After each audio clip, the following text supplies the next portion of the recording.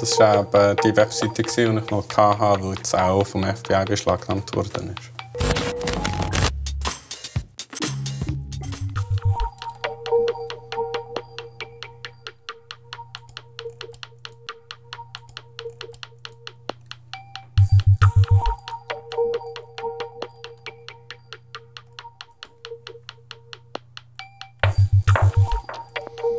Habe das Gefühl, äh, wenn man eine Schwachstelle entdeckt, wird sich nie ändern. Es bleibt immer ein Gefühl von, von Euphorie und, und Adrenalin.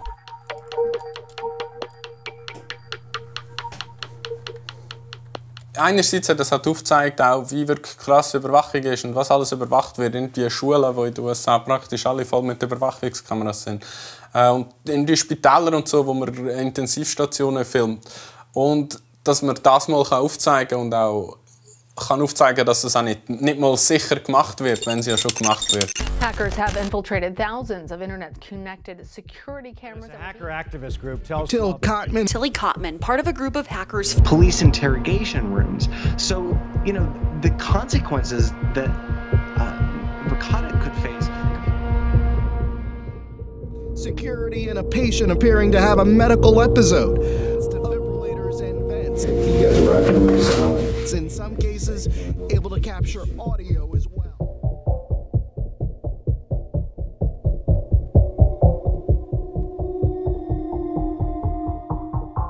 Warum haben Sie das gemacht? Äh, schlussendlich eben also aus aktivistischen Gründen und, und ja, voll, weil das Daten sind, die öffentlich sein und die öffentlichem Interesse sind.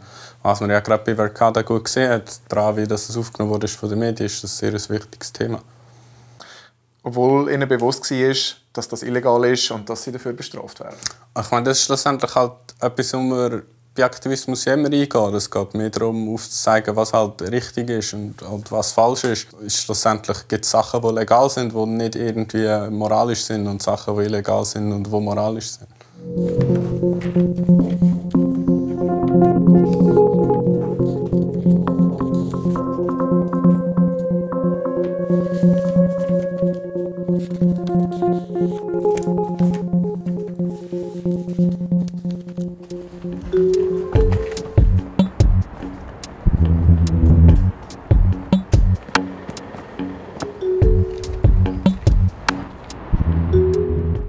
Machen uns nicht die Illusion, dass wir jetzt in die Immunsysteme verbunden haben. Äh, was sicher hilft, ist, dass es halt auch gewisse Missstände aufzeigen kann und auch nicht nur mit Behauptungen, sondern man kann es mit Beweis aufzeigen. Man kann aufzeigen, hey, das sind einfach Fakten.